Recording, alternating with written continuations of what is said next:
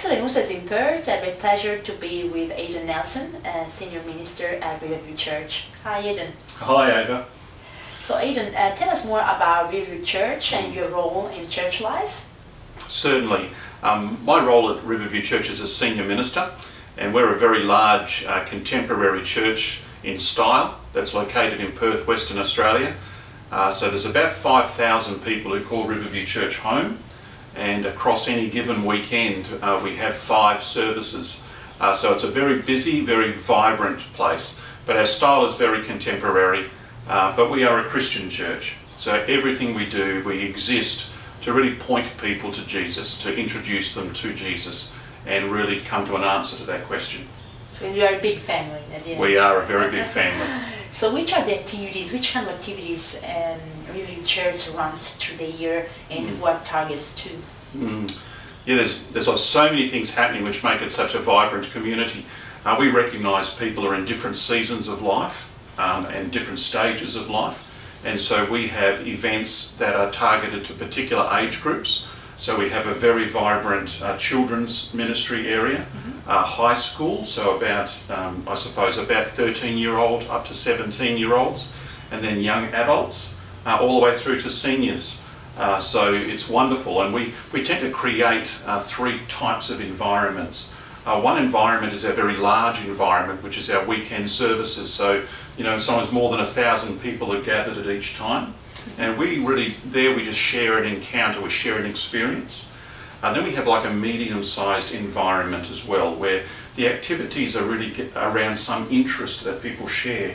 It might be to become a better parent, maybe to become, have a better marriage, uh, or to learn more about a part of the Bible. on specific on specific topics as well. Very much. So we do training and all sorts of classes for that. And then we have a very small environment. Uh, this is our what we would call a connect group. It's a small group of about 10 or 12 people. And they're really just doing life and faith together. They would meet regularly, probably weekly or fortnightly, and just share life and walk alongside and help to live life fully and live life well. Nice. So, it's, so Riverview is for everybody. Absolutely. Everybody in different stage of life. Yes, you don't need to be a, a follower of Jesus. You don't need to believe in God even to have a place at Riverview because we would say that you don't need to believe what we believe to belong. So it's really a place where you can explore things of faith, you can explore the Jesus question, and hopefully in the environments that we create, you have access to the information you need, and then you can make a decision as to what you actually think about Jesus. Yeah, that's, that's very interesting. Having friends and share experiences together in, in a path of life. Yes, and it's a lot of fun. Yeah, Yes. yeah, of course. So Adam, what do you think is the Bible? Well, certainly the Bible's a book. It's a collection of writings that have um, covered an enormous period of human history. But um, we believe, in fact, the entire Christian church believe and have believed for millennia that um, it is a record of genuine people. They were human authors. There was a Moses, a Peter, a Paul, a John. But we believe that as the human authors wrote, uh, God spoke through them. So that when I'm reading the Bible, I am reading actually the Apostle Paul's writing. And he was a very gifted, very a great intellect, uh, and it's all of him engaged. But at the same time, as I'm reading Paul, I'm also hearing the voice of God. So we believe the Bible, it's more than just a book. We believe that it actually needs to be treated with respect because we believe God is inspired. His voice is heard through it. So we approach it to really hear from God and to hear what He wants of us and desires of us and how we can respond to Him. So it's an amazing thing, and you can you can study it and read it for decades and still discover more. Finished that. Yeah. Yeah. So how I can use the Bible? So Mm. I need to read it. So what me like uh, like how I can use the Bible every in my everyday life? I think um, it's very, very healthy and helpful to read it every day. Um, in fact, we've done something here at Riverview Church where we created a Bible reading program. And it's something that people can access on their smartphones or in their tablets or on their computer. And we just call it Bible View. Okay. From Riverview Church, it's Bible View. And every day, um, many thousands of our people um, read two chapters of Scripture, and there's uh, some observations and applications. So, okay, what difference does it make in our life? And then there's even a prayer that we provide. And it's just a really helpful daily discipline that helps us to connect with God, but also in a very practical way, hear from God and, and what does that mean living now in the 21st century.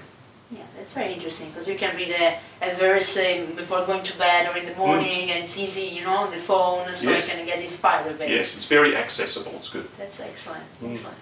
So, um, Haydn, um, you know that um, Excellent Gusto uh, talks about food. Food as a way to express territories, and uh, food also it's a way to stay all together connected, so socialize.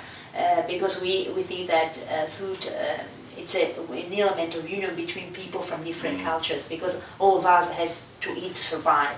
So how is food seen in the Bible and which is its meaning? Oh, I think food, food is a very prominent place in the Bible. In fact, it's very interesting to realise that the very first miracle that Jesus did uh, was done at a gathering, a wedding, where food and drink was being served. So Jesus was someone who absolutely would engage and have conversations with people around food. It was just a part of what he did, and it was a part of the culture then. And I think it's healthy that we reflect that because I know here at Riverview Church uh, we love food, we enjoy conversation and community. Um, so we love having coffee and enjoying food together. And because we're such a multicultural church, there's people here, even though we're in a very isolated part of the world, we have people from all over the world uh, who gather here. Yeah. So it's wonderful that um, food has been something that we share in common and it's just created a great community. So it's got a very big priority in Scripture and I think it ought to have a big priority in church life. Oh, that's perfect. So Excellent also says the same. Very happy that Oh, you know we share that as well. That's good. okay. So last question for you. Um, so you know we have religion and faith. Mm. So do you think there are differences? Are the same? What do you think about this? Yeah, I think there are some very important differences.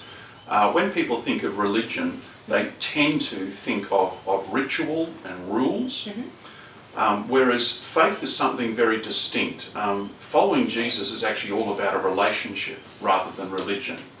And so Jesus is not some just a group of ideas. Jesus is a person. And so when you come to Christian faith, you're actually making a decision I'm going to follow that person, Jesus. And so it's far more. Religion is all about rules in many ways, whereas faith is actually a living, vital lifestyle. It's actually something that involves all that you are.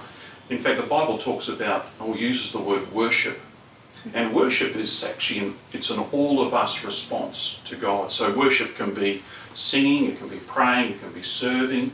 Uh, every part of our life is a response to God, and that really is faith. Faith is something where you're trusting your present and your future into this person named Jesus. And it's really that's what faith is all about. It's a trust in a person. Yeah. So I I think it, you know like what we said is that Bible is it's a lifestyle. So to to follow. So it's a decision that you can make. And uh, I think that going to Riverview is a good way to share your choice and to making new friends. So I really. It's kind of you to say so. Yeah. okay. Thank you so much, Haydn, and uh, can't wait to attend uh, one of the Riverview Church services. Very kind. Thank you so much for having me. It's Thank been an absolute pleasure. Bye.